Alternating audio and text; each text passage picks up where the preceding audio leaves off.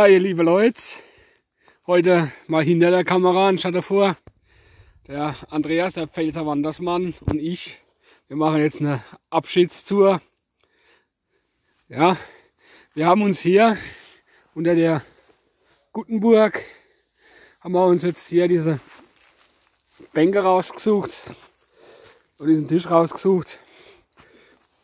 Der Andreas hat sich hier Salami mitgenommen Schöne selbstgemachte Salami, nicht von ihm, von einem guten Freund.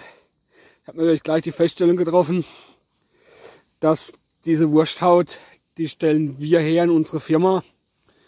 Ja.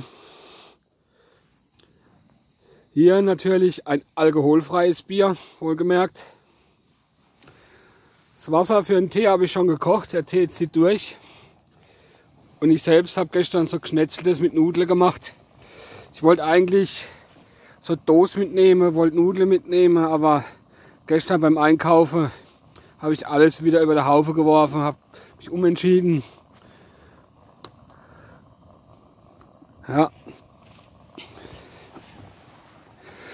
Ja, das war's mal von mir. Ja, wir werden, bis wir daheim sind, wahrscheinlich noch ein paar Kilometerchen drauf machen.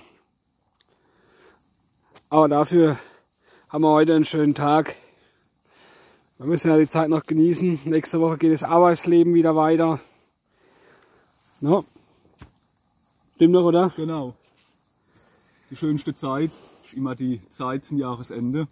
Man lässt alles noch einmal Revue passieren. Richtig. Denkt noch einmal über die positiven Dinge, auch die negativen Dinge noch. Und versucht im nächsten Jahr alles besser zu machen. Die guten Vorsätze Manchmal erreicht man sie, manchmal auch nicht. Aber man geht halt einfach dran. Ne? Ja. Und jetzt würde ich sagen, beende mal hier einmal das Video. Ja, wir grüßen natürlich noch den Christian.